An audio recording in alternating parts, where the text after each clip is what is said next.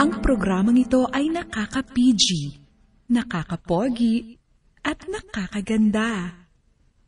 Mmm, feeling.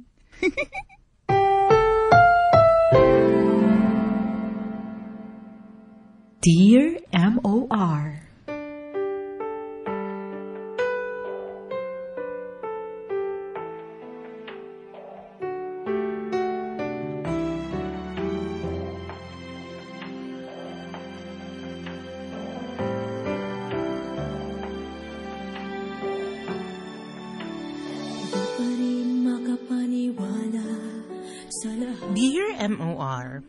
tawagin niyo na lang po ako sa pangalang Jeng, taga Pangasinan at isang proud Ilocana. Nagmula po ako sa pobre at simpleng pamilya at pangalawa ako sa limang magkakapatid. Pero kahit na mahirap kami, ay naitataguyod naman ng aming mga magulang ang aming pamumuhay. Nakakakain naman kami ng tatlong beses sa isang araw. Hasmin, nasubukan ko noong maglakad ng ah, napakalayo at uh, nakatsinelas lamang para makapag-aral lang. At dahil walang pambili ang aking mga magulang noon para sa mga pangangailangan ko sa pag-aaral, ay nasubukan ko ring magtinda ng mga gulay, yema, adobong mani at iba pang mga klaseng paninda. Ginawa ko yon hanggang sa makapagtapas ako ng high school. Pero Hasmin, hindi ako tumigil noon sa pangangarap na makatulong sa akin ah, o makatulong sa aking mga magulang at mga kapatid. Kaya naman pinagsikapan ko noon na makapasok sa kolehiyo. Sa awa naman ng Diyos ay nakapasa ako noon sa 50% discount scholarship ng eskwelahang papasukan ko sa Tugigaraw. Habang tinulungan naman ako ng tiyahin ko sa pagtustos sa iba pang mga gastusin ko sa pag-aaral.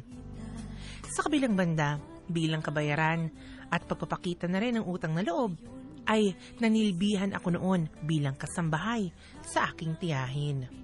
Chacha! Chacha, halika nga dito! Dali, may utos ako sa... Chacha, ano ba? Asan ka ba?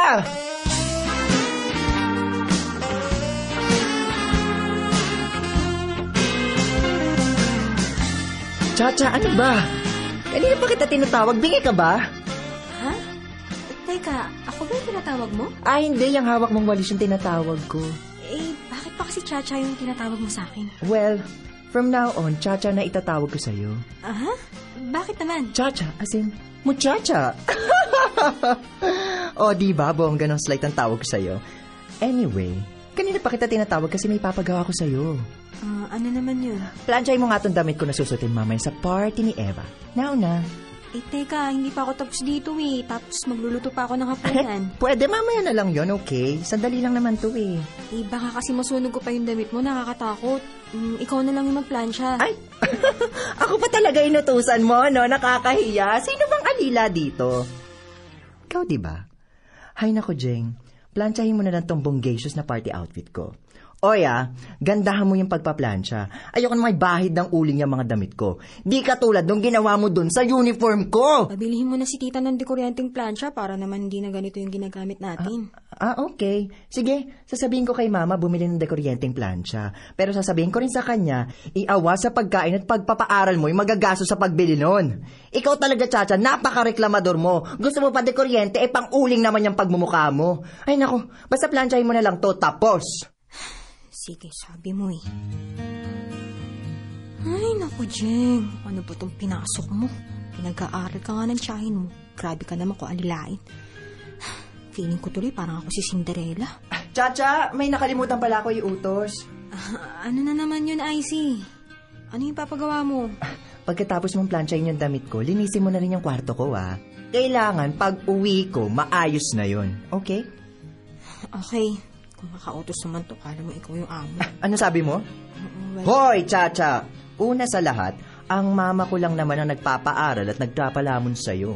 Ako ang anak niya dito, kaya amo mo rin ako. Kapag naasar ako sa'yo, kakalbuhin talaga kita dyan. Sasabihin ko rin kay mama na huwag ka na rin pag-aralin. Ano? Tameme ka ngayon, no? Ay, nako. Gawin mo na lang kasi yung trabaho mo dito sa bahay. Hindi yung reklamo ka ng reklamo. Kailangan na plancha mo na yung damit ko pagkatapos kong maligo. Okay? Maligo na ako. Gora na ako sa banyo. Bye. Kala mo naman kung sino-sino dito kung makapag-utos. Samantalang ampun lang naman siya ni tita. Ay, naku.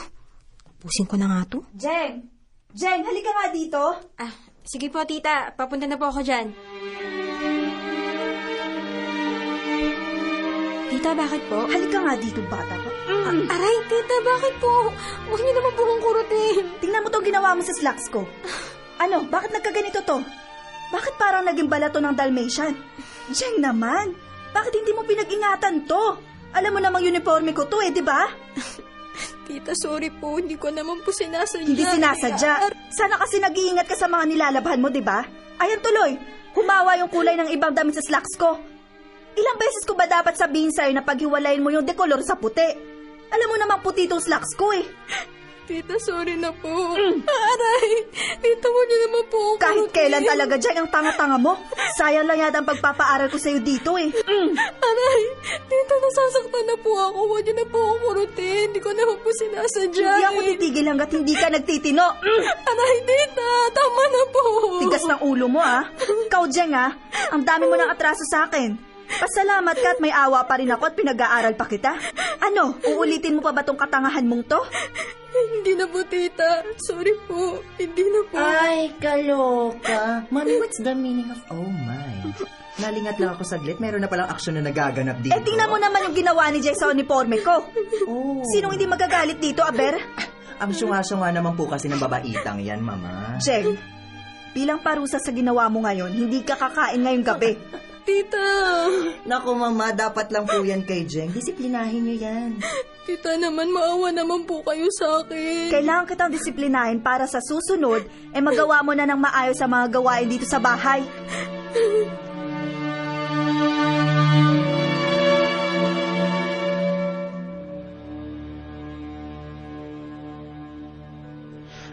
Hasmin, isang malaking sakripisyo talaga ang mawalay noon sa aking mga magulang at kapatid.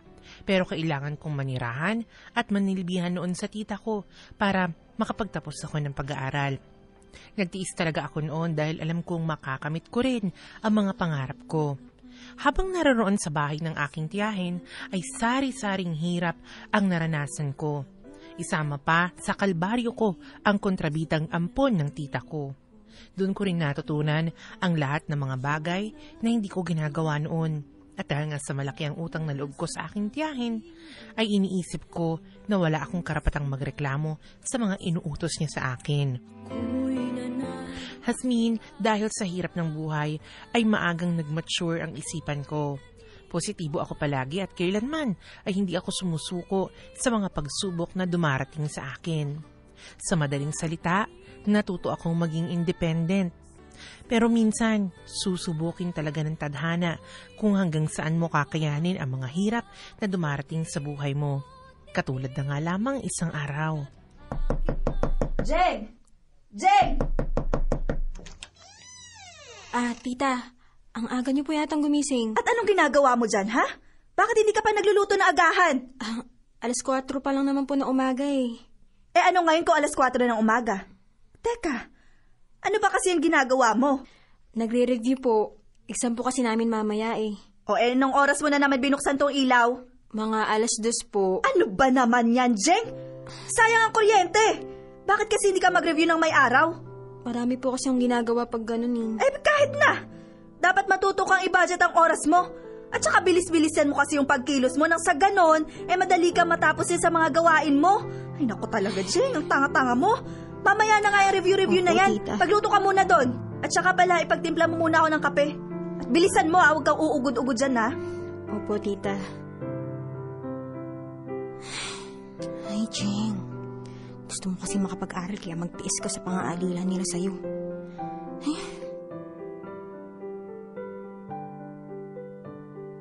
Ah, tita, ito na po yung kape nyo. O, ilapag mo na lang dyan. Nga pala, Jeng, bago ka pumasok sa eskwelahan, eh, siguraduhin mo malinis ang bahay. Kailangan lahat maayos malinis, ha? Ayoko na may nakikita akong kahit katiting na alikabok dito. Maliwanag ba? Opo, tita. Opo ka ng opo dyan. Tapos mamaya niyan, hindi mo na naman naiintindihan. Kahapon nung tumawag ako sa'yo, sabi mo malinis tong bahay. Eh bakit na umuwi ako, nadatnan kong magulo tong bahay?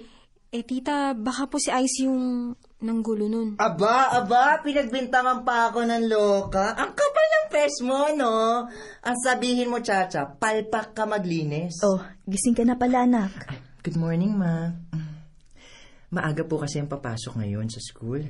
May tatapusin po kaming project ni Darwin. Aalis na po ako ng alas 6. Anyway, ano naman po bang problema ng muchachang to? Eh, nasa kwarto lang po ako magdamag tapos sasabihin niya ako nagugulo ng nililinis niya. Anak, naniniwala naman ako sa'yo. Eh, palpak lang naman talaga maglinis tong si Jeng. Ay nako, dapat turuan niyo ng leksyon yung babaitang yan. Tingnan niyo, pinag-aaral niyo pa po pero puro kapalpakan naman ang ginagawa niyan sa bahay. Nako, sayang lang ang gastos niyo dyan kay Jeng. At saka ma, bakit po kayo nagpapaaral sa kanya samantalang may mga magulang naman yan? Sila po magpaaral dyan, di kayo. Inaabuso lang kayo ng mga magulang ng tsatsang yan. Ay, si naman. Huwag ka naman naman gatong dyan. For your info, Chacha, hindi ko ginagatungan si Mama. Sinasabi ko lang kung ano yung totoo. Oo, siya, siya, siya. Sige na. Tama na yan. Oh, ano pa tinutunganga-tunganga mo dyan? Dali, magluto ka na ng agahan, papasok pa ako na maaga. Ano, dalian mo! Kahit kailan ang kupad talaga ng babaitang to, mama. Sige po, tita. Magluluto na po ako. Eh, anak, Hmm. nagtataka lang ako ha. Bakit Chacha ang tawag mo sa pinsan mo? Chacha, as in, muchacha. Pasalamat nga siya, hindi ko siya tinawag na atchay. Ay, nako talaga anak. Napakapilyo mo. Ang tagal mo naman dyan, Jeng. Bilisan mo, nagugutom na ako. Sandali lang, Icy. Kita mo naman nagsasaing pa lang ako dito eh. Ay, nako, ang kupad-kupad kasi. Ay, siya nga pala, ma. Yang si Jeng, nahuli ko nakikipag-usap sa shota niya.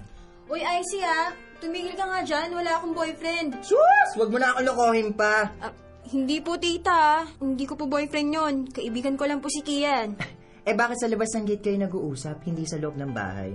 At saka, a- anong sabi mo? Ka- kaibigan? Eh kung magharutan kayong dalawa para kayo magsyota. Ay nako, Jeng ah. Sigurado ko, syota mo yun.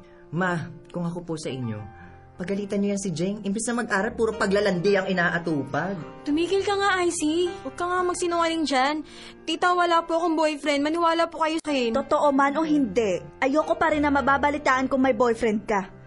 Unahin mo nga muna yung pag-aaral mo. Huwag mo sayangin ang pagpapaaral ko sa'yo, ha? O eto, Jeng, kapag nabalitaan kong may boyfriend ka na, titigil ka sa pag-aaral mo. Nagkakaliwanagan ba tayo? Opo, tita. Pero maniwala po kayo sa akin. Wala po talaga akong boyfriend. Huwag po kayo maniwala sa kanya. Ikaw talaga, Icy.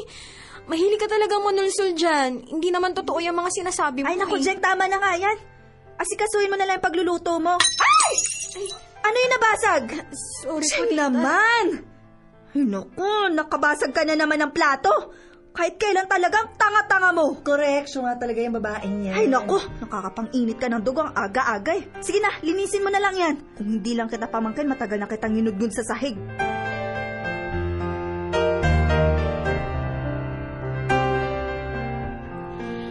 Hasmin, ganon ang madalas na nararanasan ko sa kamay ng tita ko.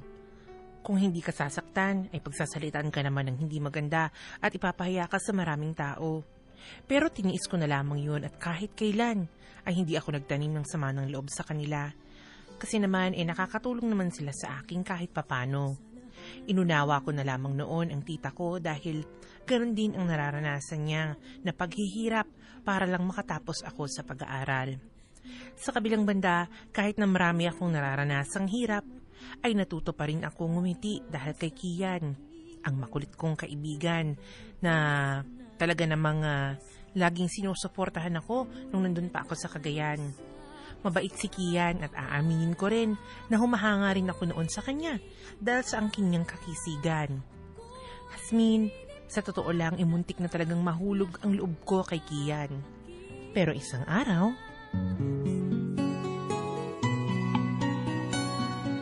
Hi, Jeng!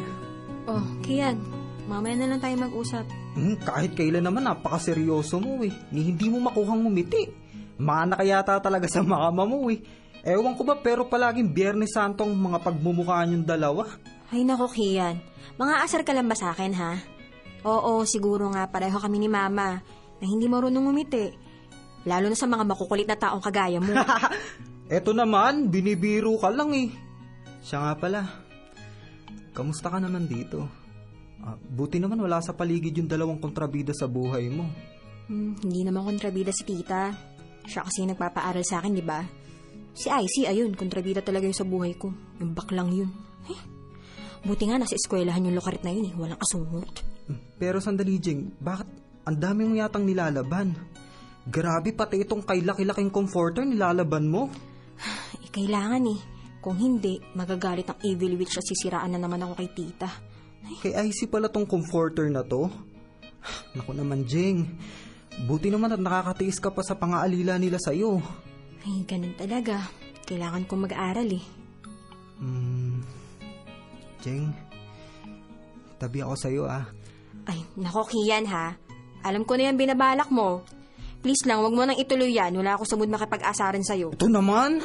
Bakit? Kada lalapit ba ako sa'yo eh? Puro pangaasar na lang gagawin ko sa'yo, Jing. Nako, kilala kita, Kian. Ikaw ang pinakamaharot na lalaki na kilala ko sa buong buhay ko. Hmm, huwag kang mag-alala, Jing. Hindi ako mangungulit at manghaharot sa araw na to. Hmm, talaga lang ha. Eh dati nga lagi mo ako pinapahiran ng bula sa mukha eh. Hmm, seryoso ako ngayon. Jing, Aba, himala. Teka, Kian, ano man nangyari sa'yo ha? hmm, nasabi pala sa akin ni Ruby na marami raw ang nanliligaw sa'yo. Pero bakit, Jing, kahit isa sa kanila eh, wala ka daw ine-entertain? Wala talaga. Kasi hindi ko naman sila gusto. Hmm, Jing? Oh, bakit? Teka, namumutla at pinagpapawisan ka. Ah, bakit? May sakit ka ba? Masama ba yung pakiramdam mo? Ano ba, Jing? Um, pwede ba kitang ligawan? Ano? Hmm, kasi baka maunahan pa nila ako sa'yo eh. Ano ba sinasabi mo? Wala namang ganyanan, Kian. Sorry, Kian, ah. Pero wala pa akong panahon para dyan. Hanggang kaibigan lang talaga ang kaya kong ibigay sa'yo. Pe- pe- pero ba- bakit, Jing? Ayaw mo ba sa akin? Tatapatin na kita. Ayaw ko sa lalaking playboy na katulad mo. Aba, teka, Jing ah. Ang tingin mo ba sa akin eh, playboy? Ganun na nga. Lang ba? Kilala kita, Kian. At saka, habulin ka ng mga babae, di ba? Pag nagkataon, marami lang ako magiging kaagaw sa'yo. Naku, pasasakitin mo lang ang ulo ko. Jeng talaga, oh, inuhusgahan mo naman agad ako eh. Um, oo. Maaring habulin ako at, ma- at naging playboy pero handa naman ako magbago eh. Jeng, pagbigyan mo naman ako. Sorry talaga, Kian. Pero wag ka na magsayang ng panahon sa akin. Hindi rin kita sasagutin eh. Jeng, please naman oh. Isa pa kasi sa dahilan kaya hindi ako nag entertain ng manliligaw. Kasi ayoko sirain yung pangako ko sa sarili ko na magkoconcentrate ako sa pag-aaral ko. Na hindi ako papasok sa isang relasyon hanggat hindi pa ako nakakapagtapos ng pag-aaral. Makakasagabal lang kasi ang pag-ibig na yan sa pag-abot ko sa mga pangarap ko eh. At saka kiyan si tita, hanggat maaari ayaw na rin mabalitaan na may boyfriend ako. Dahil pag nabalitaan niya yon na mayroon akong boyfriend, naku, hindi siya magdadalawang isip na patigilin ako sa pag-aaral. Kaya sorry talaga, Kian. Wala ka talaga maaasahan sa akin. Ouch naman, it hurts, Jeng. Sakit naman nun. Eh, hindi pa nga ako nanliligaw sa'yo, bastet na agad ako. Hmm, okay lang yun, Jeng. Hindi naman kita minamadali eh. Basta tandaan mo lang na nandito ako para sa'yo. Huwag mo kasing itoon lang sa akin yung atensyon mo. Subukan mong ibalingan sa iba. Marami naman kaya nagkakagusto sa'yo. Sa gwapo mong yan, hindi ka mahihirapang magka-girlfriend, no? Eh kaso nga, Jeng, ayaw ko naman sa mga babaeng naghahabol at nagkakandara pa sa akin. Iba pa rin yung pinaghihirapan. Intindihin mo naman sana ako, Kian. Mas priority ko talaga muna yung pag-aaral. Pero pwede naman maging tayo kahit nag-aaral ka pa. Ang kulit naman eh, hindi talaga pwede. Sorry, Kian. Hanggang friendship lang talagang kaya kong i-offer sa'yo. Hindi na ba talaga pwedeng magbago yung desisyon mo? Hindi na talaga, Kian. Sana maintindihan mo ako.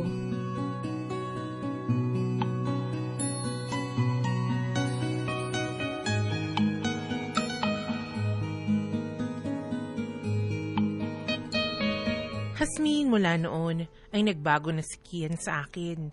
Hindi na siya noon madalas pumupunta sa bahay.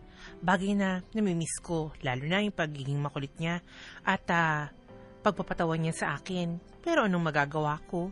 Noong mga panahong yun ay hindi pa ako talaga handa sa mga bagay na ganon. Pag-aaral talaga ang inaasikaso ko hanggang sa makapagtapos nga ako ng kolehiyo na wala kahit na isang boyfriend. Pero masaya na rin ako sa naging achievement ko dahil sa wakas ay matutupad ko na ang pangarap ko na makatulong sa pamilya ko. Popoy at Hasmin, dun ko na rin kinalimutan ang mga paghihirap na dinanas ko noong nasa poder pa ako ng aking tiyahin. Taong 2006 naman, lumuwas na ako ng Maynila para dito na maghanap ng trabaho at hindi naman ako nahirapan dahil nakahanap din kaagad ako kahit na nga hindi related sa tinapos ko. Ang importante lang sa akin ay kikita na ako ng pera para sa sarili ko at sa pamilya ko. Kahit kailan ay hindi na ako aasa sa sino man.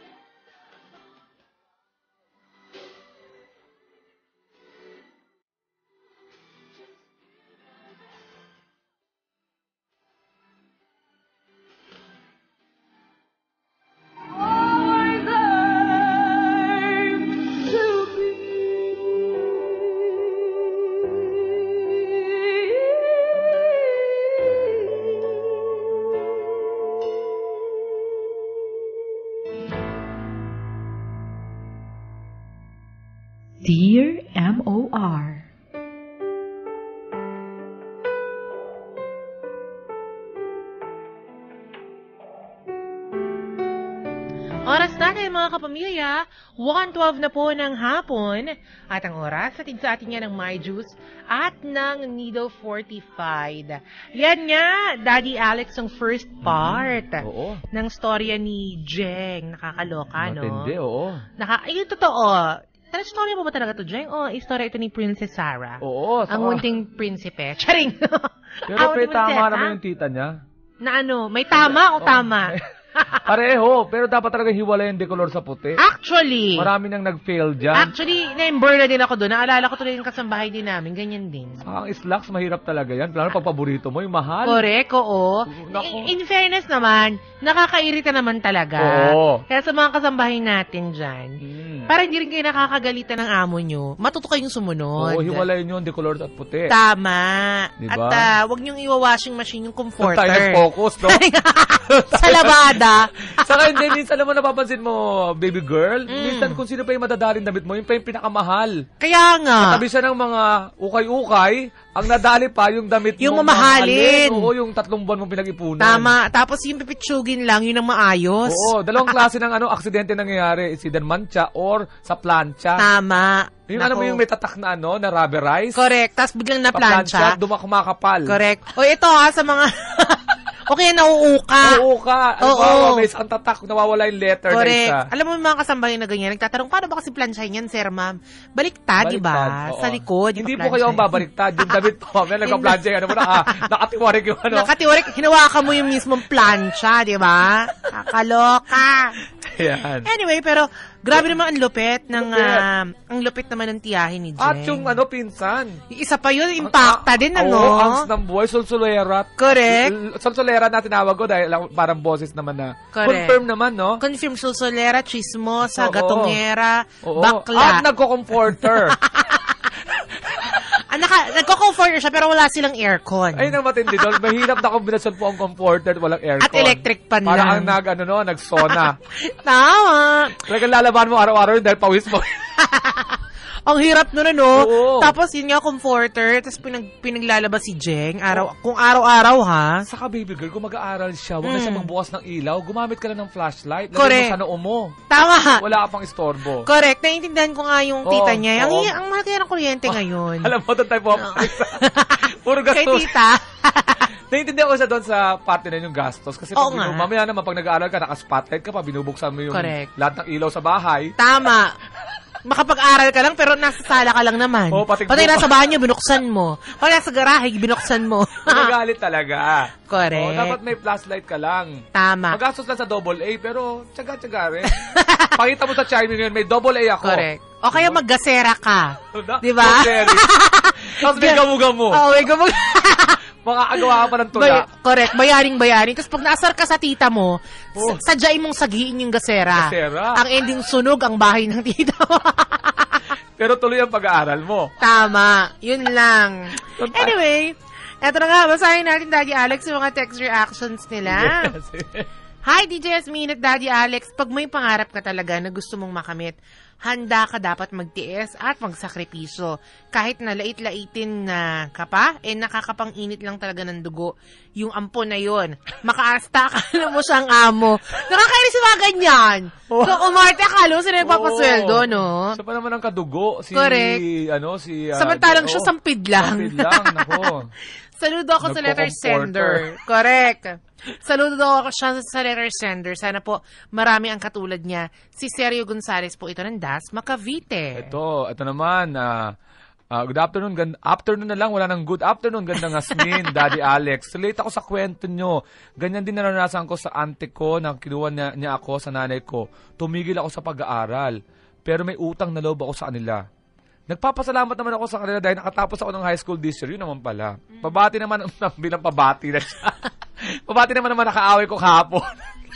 At sa mga klase ko na nagtapos kahapon, thanks we love all. Kay J.N. Ross nang galing yan. Ayan. Nakapagtapos siya ng high school this year. Correct. Congratulations. In fairness, Pap, ah, Daddy Alex, ang daming nakaka-relate ng mga kasambahay ngayon. Mm-mm. Kasi ako marami akong kilala, may mga kamag-anak nga rin ako na galing sa probinsya na para lang makapag-aral sa Maynila, talagang pumapasok sa mga kamag-anak nila Oo. para maging kasambahay. Diba, uso, I think uso yun sa kulturang Pilipino din. Napapansin eh, no? mo, baby girl, mas mahigpit ang kamag, ano, kamag-anak. Kamag-anak kaysa sa magulang. ibang, saka sa ibang tao ka napatira, mas parang mas, Mhm. ma- na, parang sa ibang tao kasi namasukan ka, at least talagang namasukan ka talaga na may, Correct. meron kayong understanding na namamasukan ako. Sa, Correct. sa kapamilya kasi, parang mal- malabo yung usapan nyo na hindi mo lamang kung kadugo ka Correct. or naninilbihan ka. Tama. Kaya ang trato sa'yo, ganun-ganun na lang. Correct, malaking check. Kaya nga, Oo. perfect example, etong si Jeng, hindi naman siya makapagreklamo ng buwangga. Sa pamilya. Kasi nga, oo, ah, ay, ay isipin niyo, no, ano sasabihin ng tatay ko, ng Oo, nanay ko, di ba? auntie ko to, gusto ko sanang lasunin. Oo, nang dahan-dahan Correct, naman. oo. dahan-dahanin ko eh kaso. Pero ang unang yung dapat lasunin, talagang yung ampon. Oo. Kasi, ah, hindi makadugo Huwag na eh. yung comforter, lagyan na ng mga blade. o kaya ibabad niya sa ano, sa mga punong-puno ng hantik, ganon. Tinuruan pa natin. na Correct, kasi kapag tulog yung ampon, daganan Oo. mo ng unan. Mm, pero wag mo, wag mo ano yan, yung pag naghihingalo lang, tapos tanggalin mo ulit. Patikim Bakit- lang. Bakit oo. na lang yung kabilang buhay sa Correct. Ma-experience yun ng konti, ano? Para hindi na umulit, di ba? Para malaman kung saan siya pupunta. Correct. Ito naman, mula kay Riza sa Iril. Hello, baby girl, last minute, Daddy Alex. Grabe Oh. naman makalait ang tita ni Jen. At sa baklang yan. si, si, si, si, si, si Icy po yung baklang niya. si Icy po, yun ang lumaki mo. Baka bakla, wagas Oo. ah. Kung ako, Jen, sa bunutan niya yung baklang yan. Para po sa lahat naman nakikinig na bakla, hindi po kayo bakla po si Icy, masamang tao po kasi yung Icy na Correct. yan. ngayon Hindi po dito. natin na lahat ng mga baklang Bakla ano, po, ha, na oo. impakita. Hindi, maraming Hindi po lahat mabait. ng bakla nagko-comforter. Tama. Yung iba, naghahanap ng comfort. Pero, hindi sa comforter. Oo. Sa comfort boy. Charing! sa comfort room.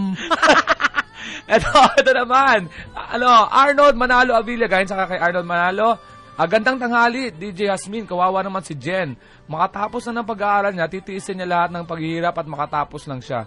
Ang tita naman niya parang walang puso. Halos kadugo na si Jen, pero kung pahirapan niya, yun. Easy lang ha. Konting tiis lang at makakaraos ka din. DJ Yasmin, more power to your show and God bless. Arnold, yan, galing kay Indang Cavite, Arnold Avila. Ayan, maraming maraming salamat.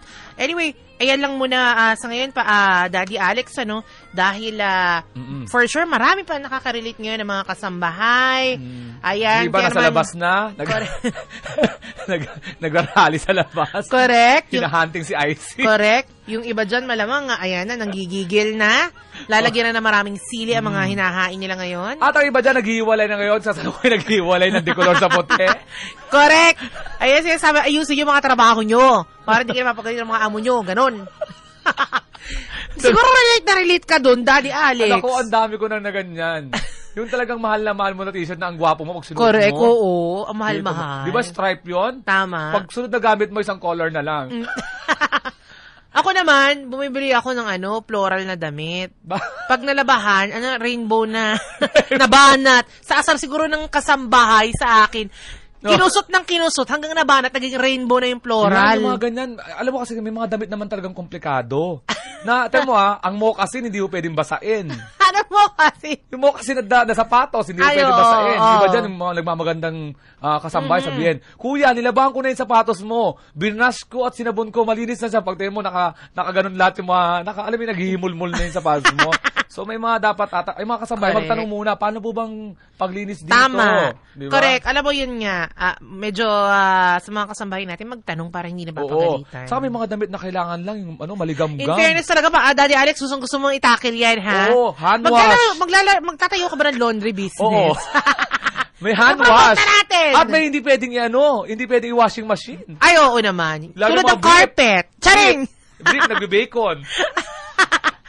okay, try nyo nga yun. Huwag nyo i-washing machine yung carpet, ha? Oo, tapos Baka- may, may kasambay kami, sinulatan yung brief ko. Ah, ano ka, guys? Property of Sir Alex.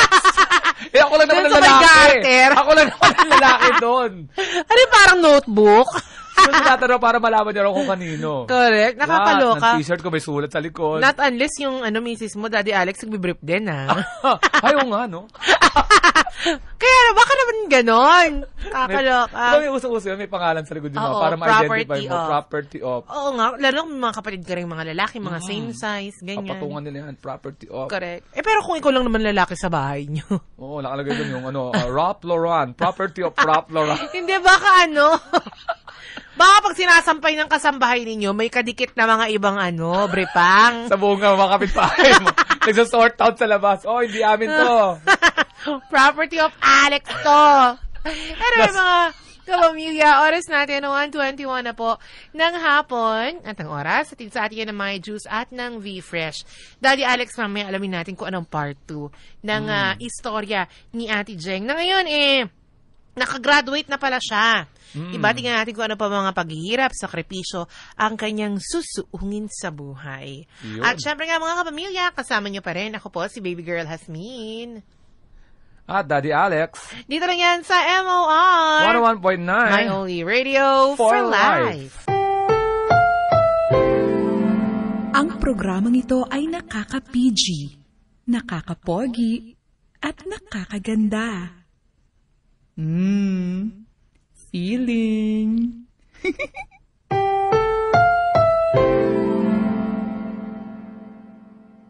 Dear M.O.R.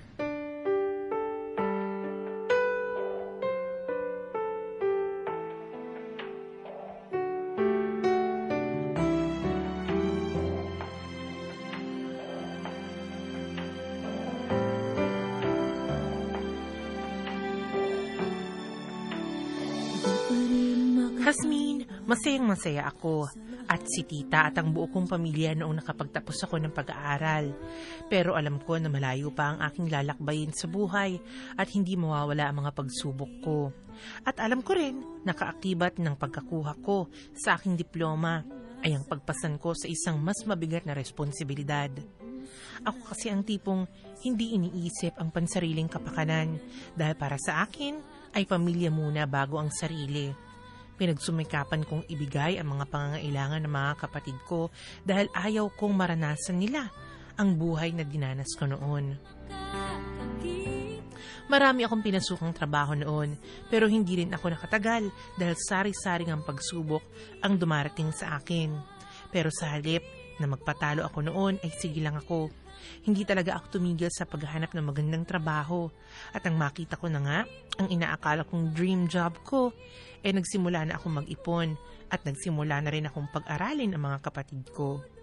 Hasmin, ginapang ko talaga ang pag-aaral ng mga kapatid ko hanggang mapagtapos ko nga sila ng isa-isa. Pero syempre, hindi pa rin maiiwasan ang pagdating ng mga problema. Jeng, anak. Oh, nandiyan na po pala kayo, Tay. Napapansin ko, kaya napatahimik dyan. May problema ka ba, ha, anak? Um, Itay, Hmm, bakit, anak? natanggal na po ako sa trabaho eh. Ha? Pero bakit naman? Nalugi na raw po kasi yung kumpanya pinagtatrabahuhan ko.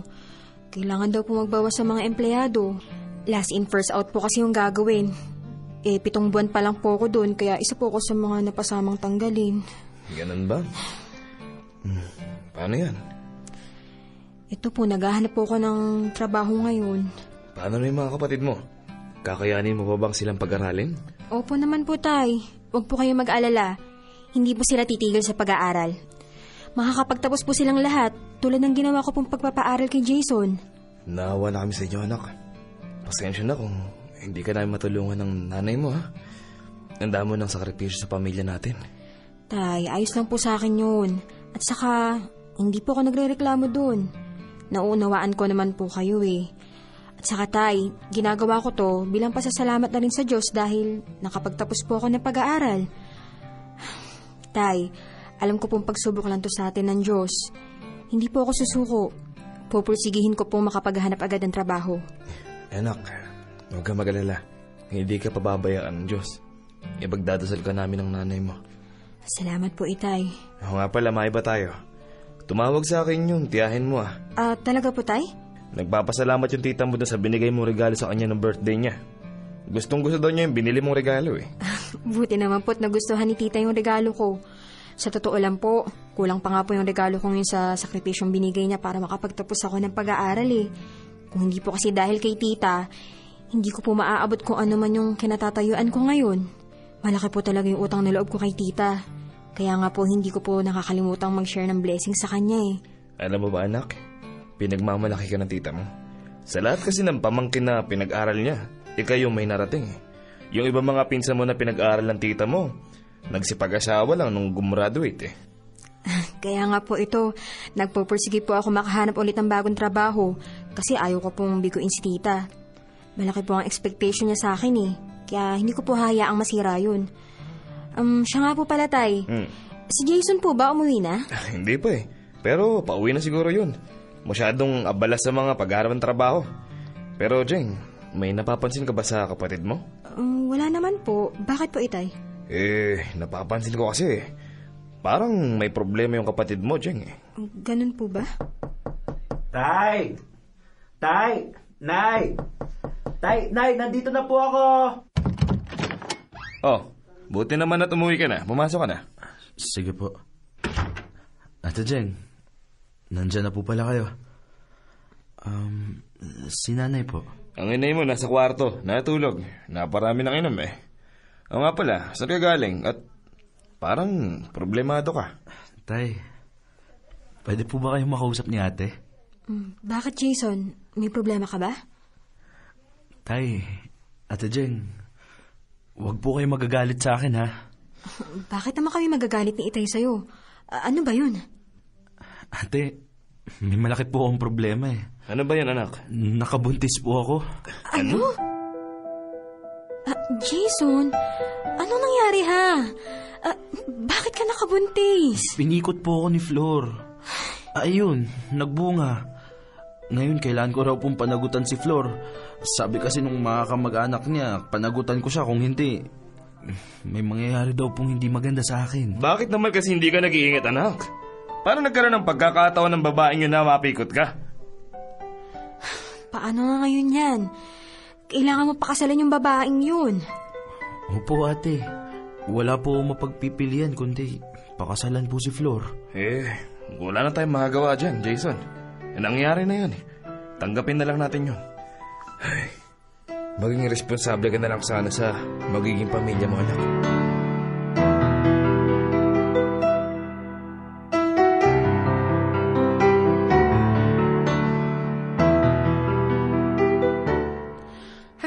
sobra ako nagulat sa nangyari. At aaminin kong nakaramdam ako ng awa at disappointment sa kapatid kong si Jason. Awa dahil alam kong hindi niya na o hindi niya mahal ang babae. Pero wala siyang choice kundi ang panagutan ito kasi nagbunga ang kanilang kapusukan.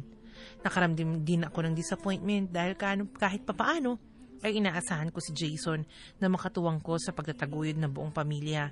Pero hindi niya na magagawa yun dahil nga mayroon na siyang responsibilidad na iba. Hasmin, sa kabila ng mga pagsubok na yun, ay hindi pa rin ako nakalimutan noon ng Panginoon. Nahanap ko rin yung pinakamimiti kong magandang trabaho at sunod-sunod na ang pagdating ng swerte sa akin. Pero Hasmin, hindi ko pa rin makuhang maging ah, o magsaya ng lubusan dahil na rin sa problemang kinakaharap ng kapatid ko. Jeng, anak, Ah, Tay, ah, sandali lang po. bakit naman hanggang dito sa bahay eh, dinadala mo yung trabaho mo? Hindi ka ba mapagod yan? Inaayos ko lang po tong presentation na gagawin ko po para bukas. Jeng, anak, napapansin ko malungkot ka. Dapat magsaya ka kasi nakahanap ka uli ng mas magandang trabaho naman ngayon. Huwag po kayong mag-alala, Tay. Wala po to. Ah, Jeng, nakausap na pala namin yung magulang ni Flor. Nagkasundo na kami sa mga mangyayaring arrangement ng kasal. Eh, hihingin sana namin yung tulong mo eh. Itay, tapos na po ako sa responsibilidad ko kay Jason. Napagtapos ko na po siya ng pag-aaral. Pero hindi naman po niya ginamit sa tama. Wala na po akong maitutulong pa sa kanya, Itay. Jeng, alam kong tutol kang maikasal si Jason sa babaeng yun. Opo, Itay. Kasi hindi naman po siya mahal ni Jason eh. Yung babae yung may kasalanan, di ba? Pinikot na lang yung kapatid ko. Sa palagay niyo po ba matutuwa po ako noon? At saka kayo po ang nag-set up ng kasal. Ni hindi niyo man lang kinonsulta sa amin at napag-usapan kung anong dapat gawin. Pero nagdesisyon na agad kayo. Wala na po akong magagawa dyan, Tay. Jeng, bakit ka naman ganyan magsalita? Ano po ba bang aasahan yung isasagot ko? Ayoko naman magbitaw ng salita na alam kong hindi ko kayang gawin. Alam nga naman sabihin kong sasagutin ko yung kasal. Ako na bahala sa ganito, sa ganyan. Kahit na alam ko naman na wala akong pagkukuha na ng pera. Itay, alam niyo naman nakakatapos lang ng pag-aaral ni Jason, di ba? At wala na ako natitirang pera. Wala rin po akong ipon. Wala na po akong maitutulong, Tay. Hindi ko naman hinihingi sa'yo na sagutin mo yung buong gastos ng kasal ni Jason. Ang sa akin lang, eh, marinig ko lang mula sa'yo na handa ka maipagtulungan sa amin ng nanay mo. Ano po bang klaseng tulong ang gusto nyo? Moral support kay Jason, ganon? Itay, sagad na sagad na po ako. Binuhos ko na sa kapatid ko yung lahat. Nung pinag-aral ko siya, hindi ko hinanap sa inyo yung salitang pagtutulungan. Dahil alam ko naman po yung buhay na mayroon tayo eh. Wala po akong ibang inaasahan kundi ang sarili ko para mapagtapos si Jason. Dugo at pawis ang pinuhunan ko sa kanya dahil buwang kumpiyansa ko noon na magiging katuwang ko siya sa pagtulong sa pamilya na to. Pero umasa lang pala ako sa wala tay. Sa huli, iniwan lang ako ni Jason sa ere. Hindi naman kagustuhan ni Jason yung nangyari. Itay, binigyan naman po siya ng Diyos ng isip. Sana natuto naman siya mag-isip. Sawa ka na bang tumulong sa amin? Sige, Jing. Kung nag-asawa ka na, iwan mo na lang kami ng mga kapatid mo. Itay, hindi naman po sa nagsasawa po ako. Sadyang disappointed lang po talaga ako kay Jason. Kung sa bagay, kaya siguro niya nagawa yan kasi hindi siya naghihirap sa pag-aaral niya eh. Hindi niya naranasan yung mga paghihirap na dinanas ko noon para lang makapagtapos. Opo, maaaring pinag-aral ako ni tita. Pero matinding hirap at kalbaryo naman po ang inabot ko doon. Nagtiis po ko doon, itay. Gusto ko kasi maabot yung pangarap ko noon eh. Ang makatulong sa pamilya natin. Eh si Jason, anong ginawa niya? Hindi kasi siya naghirap at umasa lang siya sa akin. Kaya wala sa isip niya na tumulong sa pamilya Hindi nito. ganyan ang kapatid mo, Jeng. Kung hindi lang nakabuntis si Jason, makakatulong din siya sa'yo. Gaano po kayo nakakasiguro na buntis nga talaga yung babaeng yun, Tay, ha? At kung buntis man ang babaeng yun, gaano nga kayo nakakasigurado na si Jason nga po ang ama nun? Itay, sa totoo lang, wala akong tiwala doon sa babaeng yun eh. Sana hindi mo na kayo pumayag na makasal sila. Wala na tayong magagawa. Nangyari na anak eh. Yun nga po, Tay. Kung alam ko lang na ganito yung mangyayari, edi sana hindi ko na lang siya pinag-aral. Edi sana nabili ko na lahat ng gusto kong bilhin para sa inyo. Sana nabili ko na yung lupa na matagal ko nang gustong bilhin para sa inyo ni Inay. Sana, imbis na pinag-aral ko yan Jason na yan, e pinagpagawa ko na lamang kayo ng bahay. Makakatulong pa rin naman sa atin si Jason. Hindi na po itay eh. Kasi magkakaroon na po siya ng sarili niyang pamilya. Natural, mas uunahin niya na po yung pamilya niya kaysa sa atin. Huwag ka naman magalit sa kapatid mo, Jeng. Hindi naman po ako sa galit kay Jason Itay. Sa akin lang naman po, sana inisip niya muna tayo bago siya gumawa ng ganyan. At saka Itay, sana hindi muna kayo pumayag na maikasal si Jason doon sa floor na yun. Kasi sa totoo lang po, walang magandang patutunguhan ng relasyon nila. Dahil hindi naman mahal ni Jason si Flor eh. Kawawa naman po yung kapatid ko. Habang buhay lang siya magiging miserable sa babaeng hindi niya naman mahal. Sana wag niyo naman pong masamain yung sinasabi ko, Itay. Sana maunawaan niyo po ako.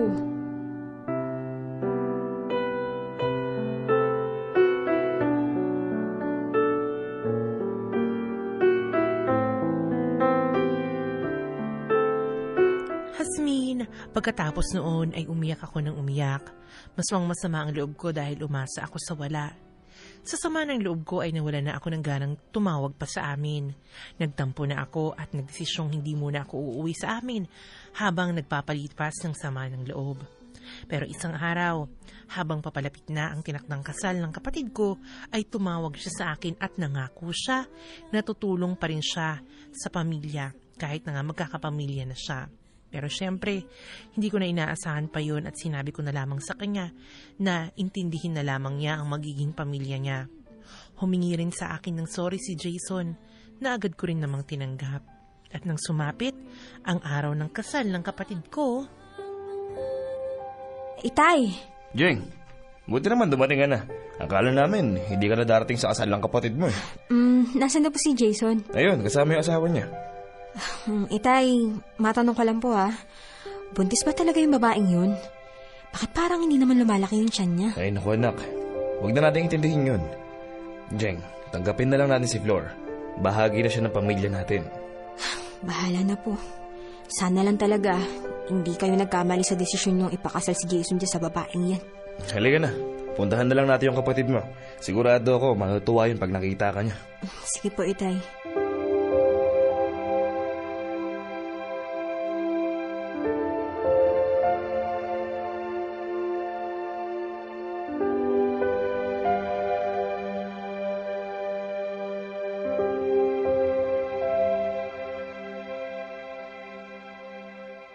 Jason!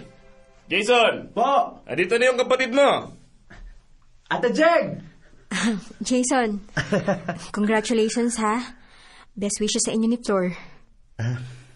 Salamat po ate. Akala ko po kasi hindi po kayo pupunta. Salamat ate naalala niyo po ako. Ano ka ba? Pwede ba naman kitang hindi maalala? Kapatid kaya kita. Ate patawarin niyo po ako ha. Huwag mo nang isipin yon. Araw ng kasal mo ngayon. Kaya dapat masaya ka. Ano ka ba? Hindi ko po kasi makuwang maging masaya ng lubusan ate. Nakukonsensya pa rin po kasi ako. Tutulungan ko dapat kayo sa pagsuporta sa buong pamilya. Kaso lang po ate naman. Jason, wala na yun sa akin. Ang isipin mo na lang ngayon kung paano mo magagampanan yung bago mong responsibilidad. Sana gamitin mo yung pinag-aralan mo para maituguyod yung bago mong pamilya. Opo ate. Ate, sa pagkakataon to hindi ko po kayo bibiguin. Sisikapin ko pong maging mabuting padre de pamilya. Jason, mahal mo ba talaga si Flor? Kailangan ko po siyang mahalin ate. Lalo na't asawa ko na po siya. Kung hindi mo pala mahal si Flor, sana hindi mo nalang pinilit ang sarili mo. Ayoko lang po ng gulo. Tsaka ayoko pong madamay kayo. Pero kalagayahan mo naman yung nakasalalay dito, Jason eh. Ate, kung hindi ko papakasalan si Flor, sigurado malaking gulo. Pero Jason, kung hindi mo siya mahal, tapos pipilitin mo siyang kasamahin, sigurado ako hindi kayo magtatagal. Masisira lang ang buhay mo, Jason. Natututunan naman po siguro ang pagmamahal. Sana lang talaga matutunan mo siyang mahalin. Siya nga pala, Jason. Bago kayo ikasal, napacheck up mo na ba si Flor? Ah, opo, opo. Pi- Pinapacheck up po siya ng mga magulang niya. Pina-check up ba siya ng kasama ka? Ah, eh, hindi po ako kasama nung nagpa-check up po siya. Inaya ko naman po siya magpa-check up ulit sa doktor kaso palagi po niyang kinakatwiran na masama po yung pakiramdam niya. Sigurado ka ba talagang buntis ang babaeng yan, ha? Bakit parang hindi naman siya buntis? Parang hindi nga lumalaki yung tiyan niya, oh. Ay, naku. Sana lang talaga, Jason, mali yung hinala ko. Ate Jeng naman, O bakit? nag-apply na po pala ako ng trabaho sa ibang bansa. Eh, hindi pa po ito alam ni na Itay at ni Inay. Lalo pong hindi alam ni Flor. Ate Jeng, kayo pa lang po yung nakakaalam nito. Basta huwag niyo po munang sasabihin sa kanila hanggat di pa po ako nakakaalis. Eh, teka, eh bakit ayaw mo ipaalam kay Flor? Tatakasan mo yung asawa mo? Magtatrabaho lang, ate. Basta, yung sinabi ko po ah, makakaasa po ba ako sa inyo? Sige, Jason. Maaasahan mo ako dyan. Pero, ano na naman ang papasukin mong trabaho? At saang bansa mo naman balak pumunta? Yung katulad po ng trabaho pinapasukan ko dito, yung papasukan ko doon. Pero sa Middle East po, sa Dubai po siguro, kaya Qatar, doon po ako nagbabalak mag-abroad. Sige, ikaw ang bahala. Ate, sana wag na pong sumama ang loob niyo sa akin ha. Patawarin niyo po talaga ako hindi po nakatulong sa inyo. Hindi na masama ang loob ko sa'yo dahil doon. Basta ate, makapag-abroad lang po ako. Magpapadala din agad ako ng pera para sa buong pamilya. Basta Jason, ano man ang maging desisyon mo, irerespeto ko. Nasa hustong gulang ka naman eh, para malaman ko ano yung gusto mo at yung makakabuti sa'yo. Halika nga, payakap nga sa kapatid ko. Ate Jeng,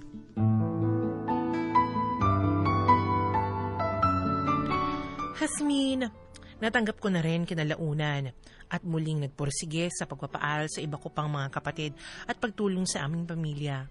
Pero sa pagkakataong ito ay hindi na ako umasa pa at inubliga ang mga kapatid ko na tulungan akong itaguyod ang buong pamilya sa hinaharap. Ginagawa ko ito ng voluntaryo at nasa mga kapatid ko na lang kung tutulong sila sa akin o hindi.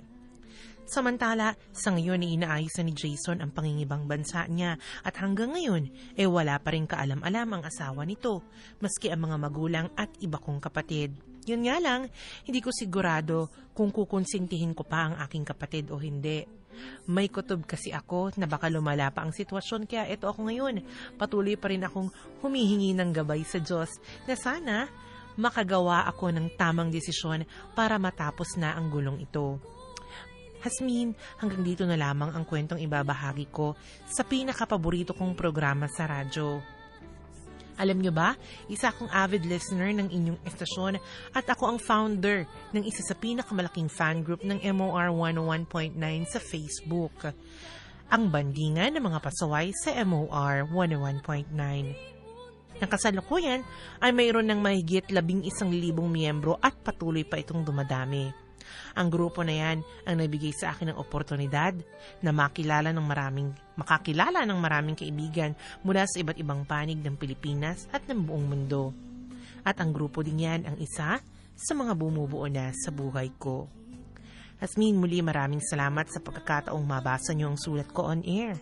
Sana magpatuloy pa sa pamayagpag ng MOR 101.9. God bless and more power at mabuhay kayong lahat.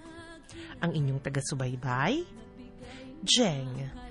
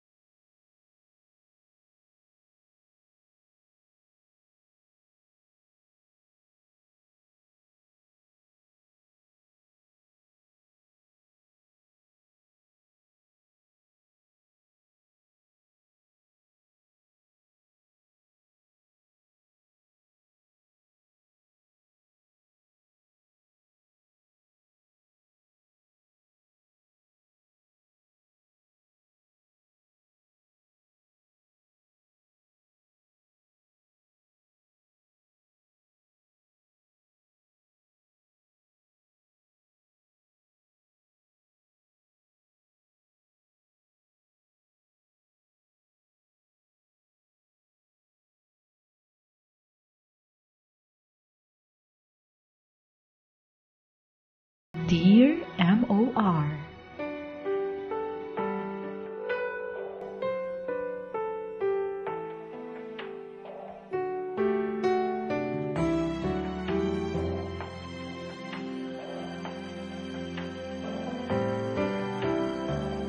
Mga kapamilya, oras natin, 2.01 na po ng hapon. At Daddy Alex, dyan na nga po nagtatapos ang storya ni Jeng. Oh, Alam mo ba, Daddy Alex, so nakakaloka tong storya ni, ah, ni Ate Mm. Jeng. Hindi tal ibig lang sabihin talaga nito, hindi talaga mawawala ng pagsubok ang buhay. oo. Yung akala mo tapos na. Pero kapag nandun ka na sa rurok ng tagumpay, feeling mo nandun ka na, meron at meron pa rin talagang darating. Aga, abang may buhay tayo, iba't ibang pagsubok. Hindi naman yung pelikulang may ending na kinab- Mm-hmm. Tama. parang kinabuka. Di ba? Makikita sa pelikula. Correct? Nagkabalikan yung ano, tapos the end. Correct. Hindi mo alam, gigising yung dalawa na yan, kinabukasan, panibagong pagsubok. Correct. Sabi nga talaga, no, problems are really inevitable. Mm. Kahit siguro patay ka na, no, yung mga patay nga, eh, di- Oo. inaano pa rin mga pagsubok, saan ililibeng, walang panlibeng, Oo. walang pabiskwet. Walang pa, walang pa juice. Oo, walang pa-juice, mga ganyan, nakakaloka. Nawa, Pero, minsan nawawala. tama, nawawala ang tegi. Yung iba nakaburol na, Oo. after quite some time, nawawala naman yung buto. Ayun, Diba? nalilipat. Correct. Ang tagal mo nang dinadalaw, binibigyan ng bulaklak, iba na pala yun. Correct, problemahin mo pa kung sino maglilinis ng nicho. Tapos isa pa Diba? nga, sa kwento ni Jeng, eh, nakita natin na ang pamilya, hindi mo talaga mapipili yan. Tama. Diba? Correct Pag yan. binigay sa yung pamilya, yun talaga. Di ba una, yung tita niya sa unang parte ng, ng story natin. Tita niya may problema. at tita niya, tapos yung inampon, kapamilya Correct. na rin, katutusin. Tama. Ngayon naman, may problema naman siya dun sa kapatid niya. Tama. Ano ibig sabihin nun? Ibig sabihin, malas ka, Ate Jeng, sa mga kapamilya mo. Charing! hindi natin talaga mapipili eh. Tama. Tayo, binanganak tayo ganun ng mga ang, gan- ang ano lang yan is, eh, naniniwala ako na hindi ka bibigyan ng God ng pagsubok na hindi mo kaya. Totoo. Mm. You can't, uh, God won't give you problems you can't bear. Oo. Sabi nga nila. Ibig sabihin And yun.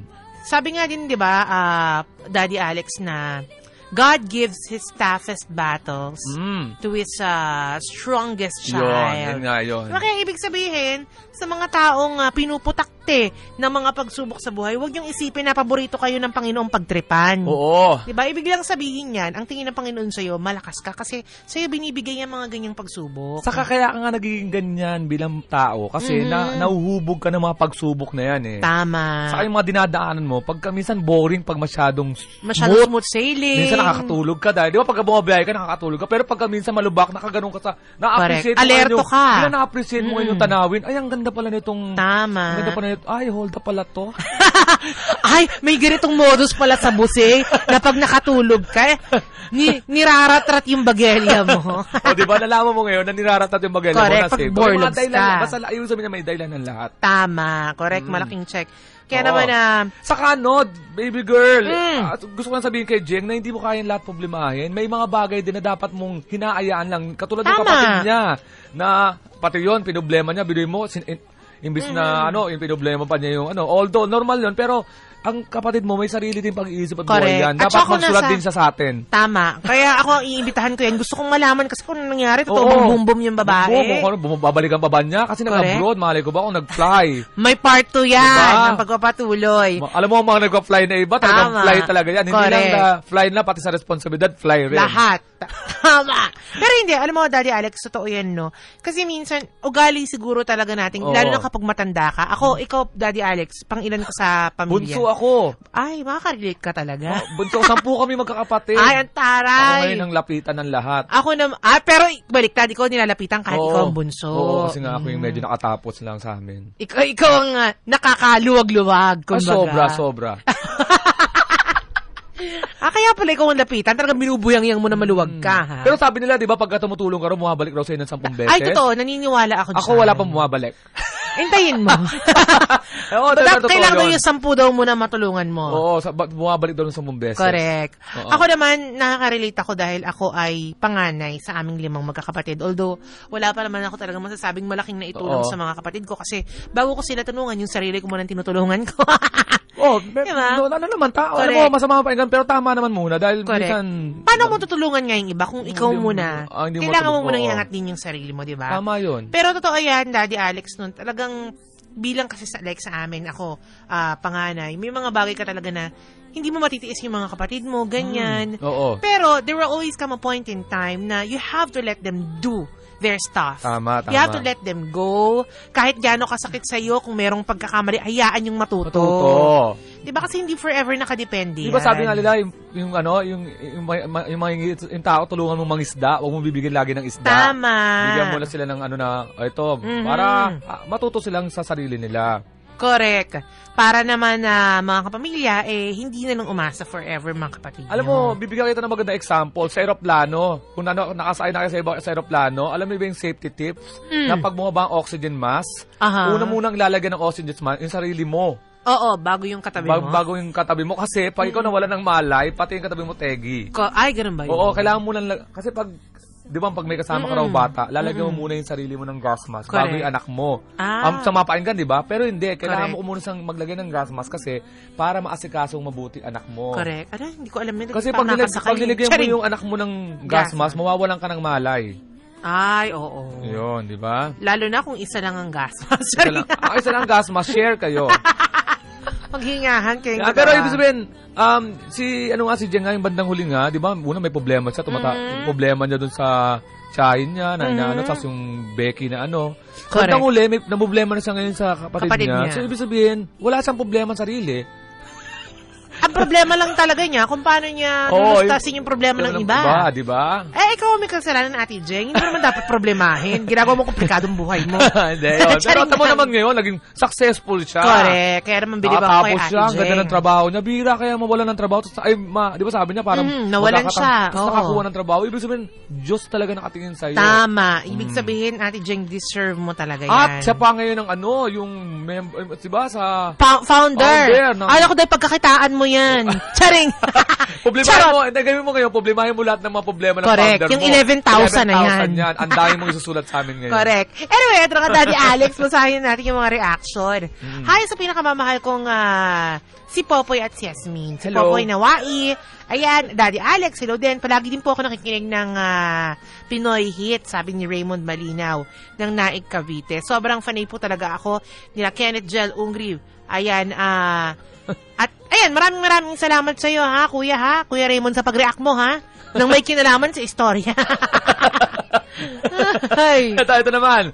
Gaya naman to kay ano. Madali. ah Angeli Satyenaman. Teresa Rizal. Good PM po, baby girl Hasmin. And Daddy Alex, I'm very much related to your story. Opo, Hasmin. Tita ko din ang nagpaaral sa akin. Grabe ang hirap.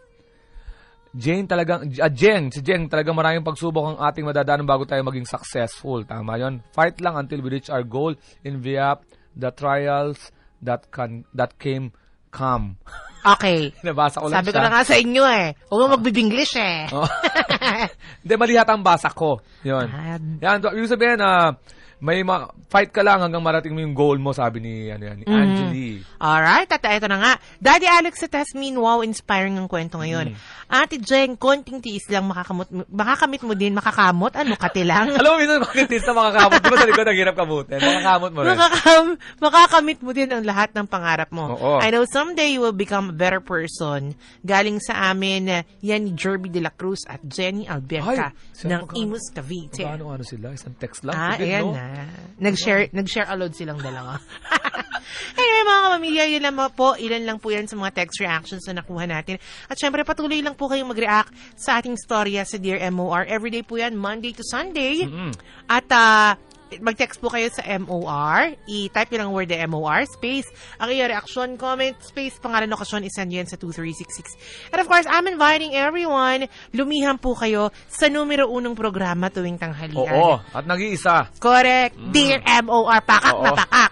Email kayo sa dearmor1019 at yahoo.com. At syempre, Daddy Alex, sa mga Oo. nakikinig ngayon, talagang mga bilib na bilib sa ating ah, mga istorya araw-araw. Nako, Maraming maraming salamat po sa bumubuo ng ah, Dear MOR. Ang talagang proud na proud ako Oo. sa aming staff sa Dear MOR. Ang aming magagaling na writer, sina Hari Krishna Senga, si Loris Layagi at si Maricar Ole. At syempre, Daddy Alex. Ay, yung mga dramatista nyo, ha, na sina Kenneth Ansero, ah, ah, Adrian Ung- Ungriano, Jel Decatoria, Daniel Cortesano, Emerald Felix, Jemberlin Abad, and Owen Villamor. At syempre, yung mga bago nating dramatista ngayon, sila Paul, Mary Jane, Mary Joy, Andy, Loie, at kay Rosemary. Di ba? Thank you so much. Ang dami niyan. Palaki na ng palaki ang Palaki ng pamilya palaki. namin Kala mo simple lang, naririnig mo, pero ang daming Correct. nasa likod niyan. At syempre, hindi lang yan yung mga editors namin, yung mga naglalagay ng Oo. sound effect.